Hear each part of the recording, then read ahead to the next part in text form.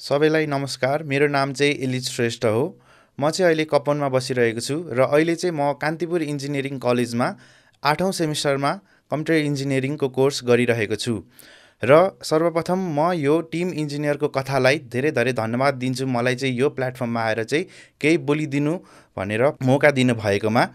र अब मैले चाहिँ यो प्रोग्राममा मेरो इन्जिनियर बन्ने यात्राको बारेमा सुनाउने छु र मैले चाहिँ किन इन्जिनियरिङ चुज गरेँ? मैले चाहिँ किन कम्प्युटर इन्जिनियरिङ चुज गरेँ? अरू सब्जेक्ट हुँदाहुँदै पनि अरू कोर्सेसहरू हुँदाहुँदै पनि मैले चाहिँ किन कम्प्युटर इन्जिनियरिङ चुज गरेँ?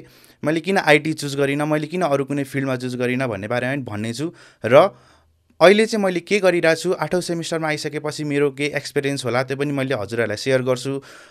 त्यसै गरी मैले धेरै कुराहरू रिसर्च गरेँ अथवा मैले केही कुराहरू कामहरू गरेको कुराहरू हजुरहरूलाई सुनाउने छु र मैले चाहिँ किन कम्प्युटर इन्जिनियरिङ चुज गरेँ भन्दाखेरि मलाई चाहिँ यो कम्प्युटरको बारेमा एकदमै धेरै चासो हुन्थ्यो। कसरी चल्छ कसरी के हुन्छ भनेर चाहिँ एकदमै धेरै चासो हुन्थ्यो। र मलाई यो कम्प्युटरको भित्री र बाहिरी पनि लाइक यो अब हार्डवेयर र सफ्टवेयर दुवैको चाहिँ एकदमै धेरै चासो। यसलाई चाहिँ इम्बिडेड सिस्टम भन्छ हार्डवेयर र सफ्टवेयर दुइटैको कम्बिनेसनलाई। त्यसकोमा चाहिँ एकदमै धेरै चासो हुन्थ्यो मलाई। के हो कसरी हुन्छ के हुन्छ भनेर चाहिँ एकदमै धेरै चासो हुन्थ्यो। र मैले चाहिँ प्लस टू सकिसकेपछि चाहिँ हेर्दाखेरि एउटा चाहिँ अब कम्प्युटर फिल्डमा चाहिँ आइटी र अर्को भनेको चाहिँ इन्जिनियरिङ। र अब यो दुईवटा फिल्डमा चाहिँ मैले कुन चाहिँ रोज्ने त भनेर मैले चाहिँ सिलेबसहरू हेरेँ र अब आइटीमा यसो हेर्दाखेरि चाहिँ अब के देखियो भन्दाखेरि बेसिकली यिनीहरूले मे मेन फोकस चाहिँ सफ्टवेयरमा गरिरहेको देखिन्छ। र अब कम्प्युटर इन्जिनियरिङमा चाहिँ कस्तो हुन्छ भन्दाखेरि हार्डवेयरमा पनि गरिन्छ सफ्टवेयरमा पनि गरिन्छ र अरू धेरै कुराहरूमा पनि गरिने रहेछ। त्यसै गरी मैले चाहिँ अब कम्प्युटर इन्जिनियरिङ चुज गर्नुपर्छ है भनेर चाहिँ मलाई चाहिँ त्यहाँबाट चाहिँ आयो। र मैले चाहिँ कम्प्युटर इन्जिनियरिङ चुज गर्नको लागि चाहिँ अब इक्जामहरू दिएँ र मैले चाहिँ अब कान्तिपुर इन्जिनियरिङ कलेज चुज गरेँ आफ्नो bachelors in computer engineering choose गर्नाले। अब सबै धेरैजनाले चाहिँ कस्तो भन्छ भन्दाखेरि इन्जिनियरिङ चाहिँ गाह्रो छ इन्जिनियरिङमा धेरैजनाहरू फेल हुन्छन् भनेर भन्ने हुन्छ। त्यही भएर अलिकति मनमा डर चाहिँ थियो। तर खास कुरा चाहिँ अब अहिले आर्ट सेमिस्टरमा आइसक्दाखेरि चाहिँ मलाई के लाग्यो भन्दाखेरि इन्जिनियरिङ त्यति धेरै गाह्रो पनि होइन। तर अब कस्तो हुँदो रहेछ भन्दाखेरि हामीलाई चाहिँ अब प्लस टू र स्कुल पढाए जस्तै त्यस्तै गरी पढ्ने बानी हुन्छ अनि अलिकति गाह्रो चाहिँ हुन्छ। अब हामीहरू चाहिँ सरहरूमै डिपेन्ड हुने गर्छौँ नि त त्यही भएर अब इन्जिनियरिङ फिल्डमा आइसकेपछि चाहिँ कस्तो हुन्छ यो ब्याचलर्स लेभल इन इन्जिनियरिङ भनेर चाहिँ भन्दाखेरि हामीले चाहिँ आफैमा पनि रिसर्च गरेर चाहिँ गर्नुपर्ने हुन्छ। रिसर्च गऱ्यो पढ्यो अनि त्यसपछि धेरै कुरा एक्सप्लोर गऱ्यो अनि त्यसपछि कन्टेन्टहरू चाहिँ हामीले घोक्ने मात्र होइन कि बुझ्ने। अब बुझ्ने अब के भइरहेछ त्यो टपिकहरू चाहिँ कसरी इम्प्लिमेन्ट भइरहेछ बाहिरी वर्ल्डमा कसरी इम्प्लिमेन्ट भइरहेछ हामीले पढेको कुराहरू कहाँनिर गएर इम्प्लिमेन्ट गर्छौँ कसरी इम्प्लिमेन्ट गर्छौँ भनेर चाहिँ हामीले साथसाथै लग्नुपर्छ। र अब फेलियरको कुरा चाहिँ कस्तो हुन्छ भन्दाखेरि हामी चाहिँ लास्टमा आएर पढ्नु खोज्छौँ। अब लास्टमा आएर पढ्दाखेरि चाहिँ हामी पढेको भन्दा नि घोक्ने कुराहरू गर्छौँ। त्यही भएर चाहिँ अब हामीलाई ब्याकहरू लाग्ने कुरा गर्छ। तर हामीले चाहिँ सुरुबाटै पढ्यौँ भने सुरुबाटै पढ्यौँ हामीले सुरुबाटै बुझ्यौँ सुरुबाटै एक्सप्लोर गर्दै गयौँ।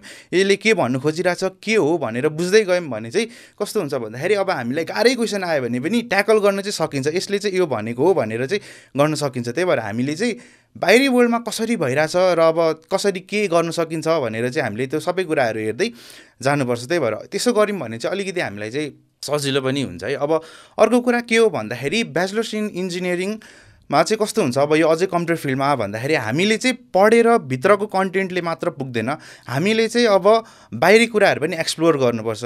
अब बाहिरी कुराहरू एक्सप्लोर गर्दाखेरि हामीले कहाँनिर के गर्ने कसरी गर्ने किन गर्ने भन्ने कुराहरू एक्सप्लोर गर्दै जानुपर्छ। अब थर्ड इयरसम्म आइपुग्दाखेरि चाहिँ तपाईँहरूले त्यो कुराहरू चाहिँ स्टार्ट गरिसक्नुपर्छ थर्ड इयर आइसकेपछि चाहिँ। अनि रियल वर्ल्डमा बुझ्ने कहाँनिर के भइरहेछ मैले चाहिँ कहाँनिर के सहयोग गर्छु मैले यो कुरा पढेर के सहयोग गर्छु भनेर चाहिँ रिसर्चहरू चाहिँ धेरै गर्नुपर्छ।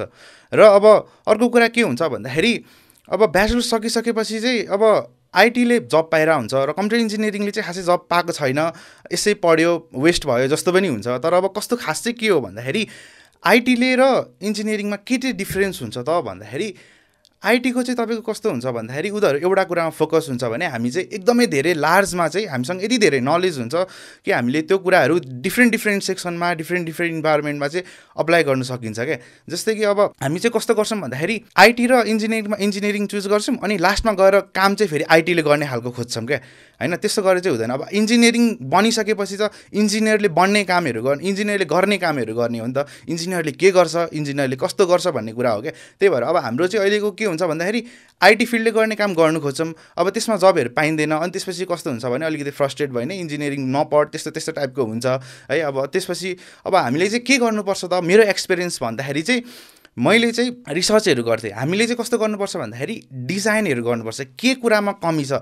इनिसियल पार्टदेखि किनभने हामीसँग धेरै नलेज हुन्छ होइन।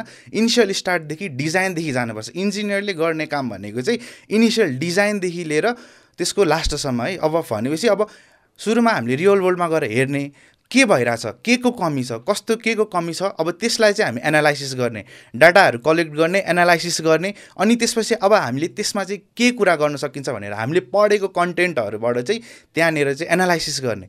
अब एनालाइसिस गरिसकेपछि अब के बनाउन सकिन्छ भनेर डिजाइन गर्ने अनि बल्ल अब त्यो इम्प्लिमेन्टेसनको लागि चाहिँ अब त्यो इम्प्लिमेन्टेसनको लागि चाहिँ अब हामीले चाहिँ आइटीहरूलाई चाहिँ गएर यो चाहिँ यस्तो यस्तो हो भनेर चाहिँ भन्ने हो कि हामीले चाहिँ अब आइटीकै कामहरू गर्ने भन्दा पनि यो यो भनेर हामीले डिजाइन आर्किटेक्चर इन्टरनल आर्किटेक्चर हामीले अब धेरै कुराहरू पढेको हुन्छौँ त माइक्रो प्रोसेसरदेखि लिएर अब धेरै कुराहरू पढेको हुन्छौँ त्यो भित्रभित्रको पार्टहरू पढेको हुन्छौँ त्यही भएर अब हामीले चाहिँ आर्किटेक्चर कस्तो हो त्यो त्यसमा बेसिसमा जान्छ इन्जिनियरले कम्प्युटर इन्जिनियरले चाहिँ भित्रको बेसिसमा जान्छ। अब हामीलाई चाहिँ कस्तो हुन्छ भन्दाखेरि अब त्यसमा जाने होइन कि हामी चाहिँ अब नर्मली काम गर्ने जस्तोमा हुन्छ कि। अब नर्मली काम गर्नको लागि त अब हामीले आइटी नै गर्दा पनि हुन्छ किनभने उनीहरूले फुल्ली फोकस्ड भएर गरिरहेको हुन्छ। अब कामहरू गरिरहेको हुन्छ डिजाइनिङहरू गरिरहेको हुन्छ वेबसाइट डिजाइनिङहरू फुल स्ट्याक डेभलपमेन्टहरू तर त्योभन्दा पनि अझै माथि बसेर सोच्नुपर्छ किनभने हाम्रो सब्जेक्ट नै त्यस्तो हुन्छ। हामीले एकदम डिपली पढेको हुन्छौँ धेरै कुराहरू होइन। त्यही भएर अब मेनली चाहिँ हामीले अझै भन्नुपर्दाखेरि रिसर्चमा फोकस हुनुपर्छ। रिसर्च गर्नुपर्छ। के चाहिन्छ भनेर रिसर्चमा फोकस गर्नुपर्छ। अब मैले पनि आफ्नो चाहिँ फुल्ली टाइम चाहिँ रिसर्चमै दिन्छु। होइन रिसर्चमा मलाई चाहिँ अब एकदमै तपाईँको यो मेडिकल फिल्डमा चाहिँ चासो लागेको होइन अब कसरी चाहिँ अब हामीले चाहिँ मेडिकल फिल्डमा चाहिँ कसरी रिलेट गर्न सकिन्छ त भनेर भन्दाखेरि र अर्को कुरा के हो भन्दाखेरि अहिलेको सिनारियो हेर्ने हो भने आर्टिफिसियल इन्टेलिजेन्सले पुरै भरिएको छ। जता पनि एआई जता पनि AI machine learning deep learning कुराहरू आउँछ त्यही भएर मेरो फिल्ड अफ इन्ट्रेस्ट पनि एआईमै हो र मैले अहिले चाहिँ एआईको कोर्स पनि गरिरहेको छु रिसर्च पनि गरिरहेको छु त्यही भएर मलाई चाहिँ अब अहिलेसम्म आइपुग्दाखेरि चाहिँ मैले चाहिँ एआईमा चाहिँ धेरै कुराहरू गरिसकेको छु होइन? धेरै मोडलहरू बनाएर त्यसको के गर के गरी कसरी चाहिँ अब डक्टरहरूलाई चाहिँ सजिलो बनाउने त? कसरी चाहिँ अब ठुल्ठुलो सिनियर डक्टरहरूलाई कसरी सजिलो बनाउने? एआईको हेल्पले कसरी ऊ हुन्छ? त्यो मोडलहरू कसरी बनाउने? त्यतातिर रिसर्च गरेर गरिरहेको छु मैले चाहिँ होइन? अब त्यसपछि अब हामीले चाहिँ कस्तो गर्न सकिन्छ त भन्दाखेरि डक्टरहरूलाई चाहिँ तपाईँको यो डिजिज डिज डिटेक्सनहरू चाहिँ होइन? हामीले चाहिँ सर्टेन कुराहरू मलाई चाहिँ यस्तो यस्तो भइरहेछ है मलाई यस्तो यस्तो भइरहेछ है भनेर टक्क केही कुरा गरिदिइसकेपछि त्यसको चाहिँ तपाईँको के हुन्छ भने ल यसको पोसिबिलिटी चाहिँ यो छ है। तपाईँलाई चाहिँ यसको पोसिबिलिटी छ यो छ भनेर चाहिँ एउटा डिजाइन बनाइन्छ। एआई डिप लर्निङ मेसिन लर्निङहरू युज गरेर एउटा डिजाइन बनाइन्छ। त्यो डिजाइन बनाइसकेपछि डक्टरहरूलाई पनि धेरै कुरा हेल्प भयो। अनि अर्को भनेको अब च्याटबोर्डहरूको कुरा पनि आउँछ। अब च्याटबोर्ड चाहिँ भनेको कस्तो हुन्छ भने एआई जस्तो च्याटबोर्ड अब त्यसले चाहिँ कस्तो गर्छ भन्दाखेरि तपाईँसँग एज अ डक्टर जस्तो कुरा गर्छ। होइन एज अ डक्टर जस्तो कुरा हुन्छ। किन भन्दा अब डक्टरलाई धाइ राख्ने पनि हुँदैन गाह्रो पनि हुनसक्छ। त्यही भएर अब तपाईँले एउटा ट्रिटमेन्ट लिइसकेपछि पछिबाट तपाईँलाई केही त्यस्तो भने त्यो च्याटबोर्डसँग चाहिँ तपाईँले कम्युनिकेट गरिसकेपछि चाहिँ के हुन्छ भन्दाखेरि त्यो च्याटबोर्ड चाहिँ तपाईँसँग एज अ डक्टर जस्तै पनि हुन्छ त्यसमा पनि भयो होइन? अब त्यसपछि अरू कुरा धेरै कुराहरूमा चाहिँ हामीले एआई अप्लाई गर्न सकिन्छ होइन? अब मेरो चाहिँ फिल्ड अफ इन्ट्रेस्ट एआई हो त्यही भएर अब अरू कुरा अरू अरू धेरैको इन्ट्रेस्ट बेग्लै बेग्लै हुनसक्छ है? त्यही भएर बेग्लै बेग्लैमा जाँदा पनि भयो तर मेन कुरा भनेको हामीले चाहिँ रिसर्च गर्ने हो रिसर्च गरेपछि डेटा कलेक्ट गर्ने हो डेटा कलेक्ट गरिसकेपछि त्यसलाई एनालाइज गर्ने हो र त्यसको आर्किटेक्चर मोडलहरू यस्तो यस्तो भनेर भनिसकेपछि बल्ल त्यसको इम्प्लिमेन्टेसनको लागि चाहिँ हामीले आइटीको टिमहरूलाई गएर चाहिँ भन्ने हो। त्यो भनेको चाहिँ अब हामी चाहिँ कम्प्युटर इन्जिनियर त्यसमा चाहिँ होइन। त्यही भएर अलिकति डिफ्रेन्स चाहिँ छ कम्प्युटर इन्जिनियर र आइटीमा। त्यही भएर अब धेरै जसोले चाहिँ के भन्छ भन्दाखेरि एउटै हो जे पढे नि हुन्छ जस्तो पनि एउटा कन्सेप्ट छ है। अब गाह्रो हुन्छ भनेर पनि एउटा कन्सेप्ट छ। तर अब त्यही हो मेन कुरा चाहिँ त्यही हो। अब हामीले चाहिँ कसरी गर्ने त? अब किन भन्दाखेरि आखिर त्यही कुरा गर्ने हो लास्टमा गएर आइटीकै कुरा गर्ने हो त्यही फिल्डमा जाने हो भने त अगाडि नै आइटी चुज गर्दा पनि त हुन्थ्यो नि त होइन? त्यही भएर चाहिँ अब मेरो फिल्ड अफ इन्ट्रेस्ट चाहिँ त्यो र त्यसै गरी अब एआईमा चाहिँ धेरै कुरा गर्नु सकिन्छ डक्टरहरूलाई चाहिँ। अब फर इक्जाम्पलको लागि मैले चाहिँ एउटा रिसर्च गरेको थिएँ। तपाईँको के थियो भन्दाखेरि तपाईँको त्यसमा चाहिँ अब यो फोटोमेट्रीको कुराहरू पनि आउँछ क्या। त्यसमा चाहिँ अब कस्तो हुन्छ भन्दाखेरि तपाईँको यो जुन अब यो एमआरआई स्क्यानहरू हुन्छ अब एमआरआई स्क्यानहरू यस्तो स्क्यानहरू चाहिँ अब कस्तो हुन्छ भन्दाखेरि त्यसको लागि चाहिँ अब डक्टरले चाहिँ सबै हेरिराख्नुपर्ने हुन्छ नि त। त्यसको अब पुरै थ्री डी मेसहरू बनाएर थ्री डी पिक्चरहरू बनाएर डक्टरहरूलाई सजिलो तरिकाले होइन त्यसको चाहिँ हेर्नको लागि सजिलो बनाउने कहाँनिर के डिफेक्ट छ भनेर सजिलो बनाउने सबै अब भिआर एआरको कुराहरू आउँछ भर्चुअल रियालिटी अनि त्यसपछि अगमेन्टेड रियालिटीको कुराहरू आउँछ। अब हामीले त्यो भिआर लगाएर सबै कुरा हेर्ने हो त्यस्तोमा हेल्प गर्न सकिन्छ डक्टरहरूलाई मैले यसमा चाहिँ धेरै रिसर्च गरेको छु होइन? यसमा चाहिँ धेरै हेल्पफुल हुन्छ। तर अब अर्को कुरा के हुन्छ भन्दा नेपालमा चाहिँ अलिकति तपाईँको कस्तो हुन्छ भन्दाखेरि डेटाहरू चाहिँ हामीले चाहिँ कस्तो हुन्छ भन्दाखेरि बाहिरको डेटाहरूसँग खेलिरहेको हुन्छौँ। बाहिरको डेटाहरूलाई अब क्यागल भन्ने साइट छ है? अब बुझ्नुहुन्छ तपाईँहरूले एआईमा छिर्नुभयो भने। त्यसमा चाहिँ अब हामीले डेटाहरू लिइरहेको हुन्छौँ। तर त्यो चाहिँ इन्टरनेसनल डेटाहरू हुन्छ क्या। इन्टरनेसनल डेटा र यो हाम्रो नेपालको डेटामा चाहिँ अलिकति डिफ्रेन्ट चाहिँ हुन्छ। किन भन्दाखेरि हाम्रो तपाईँको मान्छे नै अब डिफ्रेन्ट हुन्छ नि त त्यही भएर अब अलिकति हामीलाई चाहिँ कस्तो हुन्छ भन्दाखेरि यो फिल्डमा गइसकेपछि अलिकति हामीलाई रिसर्च गरिसकेपछि चाहिँ गभर्मेन्टबाट पनि हेल्प चाहिँ चाहिन्छ किन भन्दाखेरि अब डाइरेक्टली गएर अब डेटाहरू लिन त पाइँदैन नि त। अनि अर्को हुन्छ भने अनस्ट्रक्चर पनि हुन्छ कति डेटाहरू होइन त्यसलाई चाहिँ अब स्ट्रक्चर गर्ने अनि त्यसपछि हेल्प लिने डक्टरहरूसँग कन्सल्ट गर्ने गभर्मेन्टको सपोर्ट लिने अनि त्यसपछि गएर एउटा स्ट्रक्चर नेपाली डेटामै हामीले गर्न सक्यौँ भने चाहिँ नेपालको लागि पनि धेरै हेल्प हुन्छ होइन। त्यही भएर हामीले सुरुमा चाहिँ नेपालमा के गर्न सकिन्छ नेपालमा कसरी चाहिँ मोडलहरू गर्न सकिन्छ किनभने बाहिर त धेरै इम्प्लिमेन्ट भइसकेको छ है। बाहिर त मैले जस रिसर्च गर्दाखेरि चाहिँ बाहिर त धेरै डक्टरहरूलाई त यति धेरै सजिलो भइसक्यो कि उनीहरूको त मोबाइल मोबाइलमा सबै कुराहरू आइसकेको छ क्या। अब उनीहरूले टक्क अब एउटा स्क्यान गर्न ल यस्तो मैले एउटा पेसेन्टको स्क्यान गरेँ भनेपछि उनीहरूको घरमै एक्सेस हुन्छ क्या सबै कुरा। अब घर बसेरै डक्टरहरूले चाहिँ आफ्नै मोबाइलमा चाहिँ सबै कुराहरू हेर्छन् क्या उनीहरूले होइन। अब सबै कुराहरू अनलाइनै भर्चुअलबाटै गर्ने त्यस्तोसम्म भइसकेको छ। तर अब नेपालमा चाहिँ नेपाली डाटाहरूमै काम गर्नुपर्छ। होइन अब यो एआईको फिल्डमा चाहिँ अलिकति अब स्टिल पनि ग्रोइङमै छ। नेपाल होइन धेरै ऊ पनि भएको छैन तर हामीले चाहिँ त्यो कुरा गर्न सकिन्छ। होइन त्यो कुरा गर्न सकिन्छ। अब गएर रिसर्च गर्ने रिसर्च गरिसकेपछि अब प्रोफेसर्सहरूसँग भेटेर हुन्छ कि उनीहरूसँग केही कन्सल्ट गरिसकेपछि रिसर्च पेपर निकाल्ने रिसर्च पेपर निकालिसकेपछि अब त्यसपछि त्यसको बारेमा धेरै अझै डिपली जाने डिपली गइसकेपछि ल यस्तो यस्तो बनाइसकेपछि चाहिँ हामीले चाहिँ यस्तो गर्न सकिन्छ है भनेर चाहिँ गर्न सकिन्छ। र अहिले चाहिँ मैले अब त्यही थ्री डीकै बारेमा रिसर्च गरेर अनि अर्को कुरा भनेको चाहिँ डक्टरहरूलाई चाहिँ कसरी चाहिँ अब यो डिटेक्सनको बारेमा होइन सर्जरीको लागि डिटेक्सनको बारेमा चाहिँ रिसर्च गरिरहेको छु। र मैले यसमा चाहिँ धेरै कुराहरू गरिरहेको छु। र यसै गरी अब हामीले चाहिँ इन्जिनियरिङ नै चुज गर्ने चाहिँ एउटा यो ऊ हो है। अब आइटी र इन्जिनियरिङमा डिफ्रेन्स चाहिँ हुन्छ। त्यही भएर हामीले चाहिँ यस्तो यस्तो फिल्डमा चाहिँ एकदमै उ गर्नुपर्छ। अब मेरो फिल्ड चाहिँ एआई भएर त्यस्तो भयो। अब अरू अरू तपाईँहरूको अरू इन्ट्रेस्ट पनि हुनसक्छ।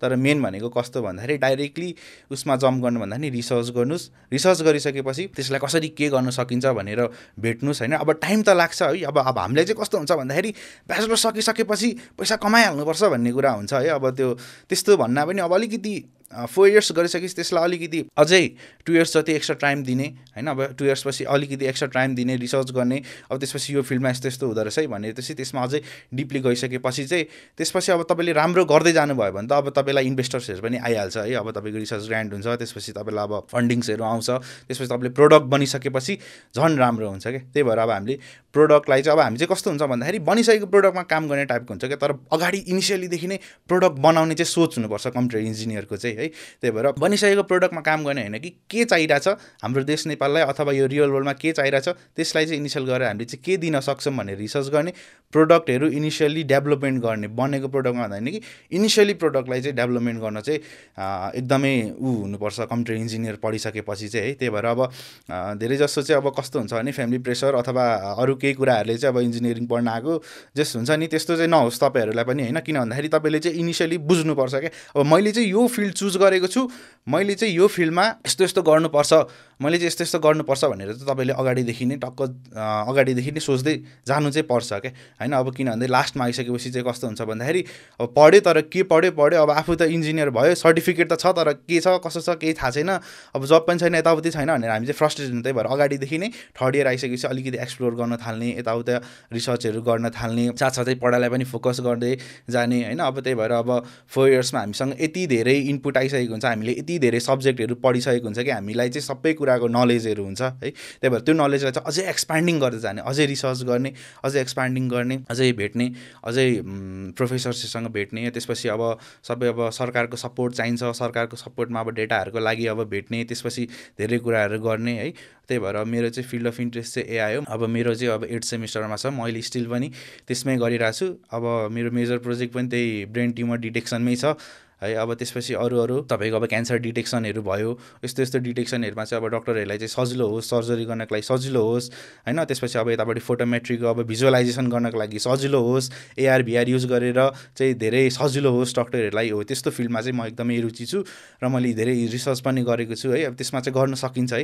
अब कस्तो हुन्छ भन्दाखेरि रिसर्च गर्दै गर्दाखेरि चाहिँ कस्तो हुन्छ भन्दाखेरि अलिकति टाइम चाहिँ लाग्छ होइन? अब बिचमा चाहिँ कस्तो हुन्छ नि ल नहुने रहेछ यताउति भन्ने हुने रहेछ होइन? त्यही भएर त्यसमा चाहिँ अलिकति फ्रस्ट्रेट हुनु हुँदैन हामीले चाहिँ धेरै कुराहरू बिस्तारै जानुपर्छ है। अब अरूले पनि भन्छ यताउता होइन। त्यो अरू केही पनि सुन्ने होइन। जस्ट आफूले चाहिँ आफूमा एउटा बिलिभ इन यर सेल्फ भन्ने हुन्छ नि। त्यस्तो चाहिँ हुनुपर्छ क्या है। अब एउटा विश्वास चाहिँ हुनुपर्छ। मैले चाहिँ यस्तो गरिरहेको छु मेरो फिल्ड अफ इन्ट्रेस्ट यो हो। र मैले चाहिँ हन्ड्रेड पर्सेन्ट दिनुपर्छ भन्ने कुराहरू चाहिँ हुनुपर्छ आफूमा होइन। त्यो भयो भने चाहिँ एकदमै धेरै हेल्पफुल हुन्छ होइन? किनभने मैले धेरै जस स्टुडेन्टहरूलाई चाहिँ के देखिरहेको हुन्छु भन्दाखेरि फ्रस्ट्रेट हुन्छन् उनीहरू होइन? अब के पढिरहेको थाहा हुँदैन अब एकदमै धेरै प्रेसर हुन्छ त्यस्तो त्यस्तोमा चाहिँ हुन्छ है? अब धेरै अब जस सुसाइड केसहरू पनि भइरहेको हुन्छ तर त्यसमा चाहिँ तपाईँहरूले के बुझ्नुपर्छ भन्दाखेरि नेगेटिभ थट्सहरू चाहिँ आउनु भएन होइन? त्यही भएर अगाडिदेखि नै एकदम प्रिपेयर भएर मैले कुन फिल्ड चुज गरिरहेको छु मेरो फिल्ड अफ इन्ट्रेस्ट के छ सबै कुरामा बुझेर सबै कुरा गरिसकेपछि चाहिँ तपाईँ चाहिँ एउटा ब्याचलर सकिसकेपछि चाहिँ